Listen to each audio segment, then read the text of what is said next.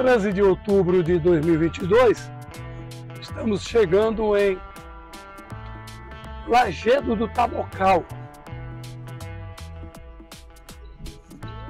Seu acesso se dá principalmente pela BA 250 que liga Lagedo à BR 116 no entroncamento de Jaguaquara e a Itamaracá também por essa aqui agora, 250.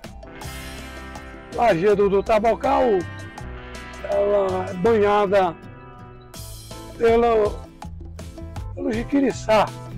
Então ela está dentro do grande vale do Jiquiriçá, pega desde lá da BR-101 e vai subindo, e vem subindo, melhor dizendo, aqui.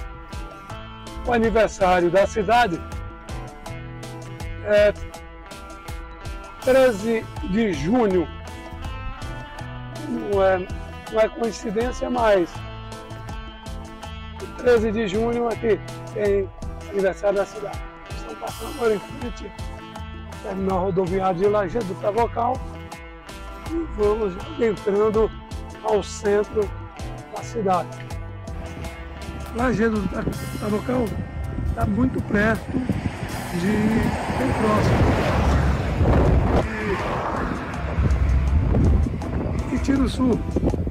E essa BA liga Lajeado do Tavocal a BR-116, assim como a próxima cidade depois dela, que é Maracás.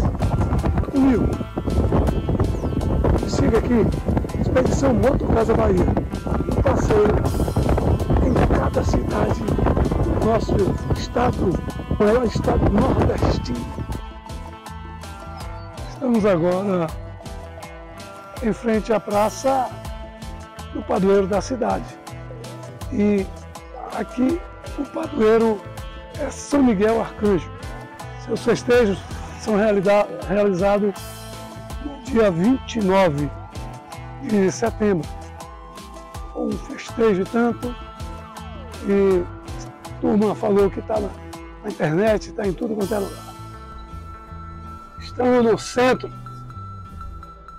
Lajeado do Tabocal. Vamos dar um giro.